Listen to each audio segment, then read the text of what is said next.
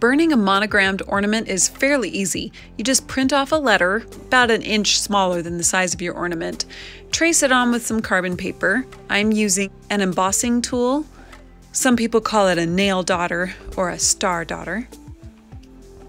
It's important to check and make sure that all the parts of the letter got traced, and any parts that didn't, you go back and fix that.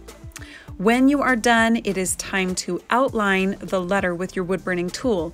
I like to start with my edges first.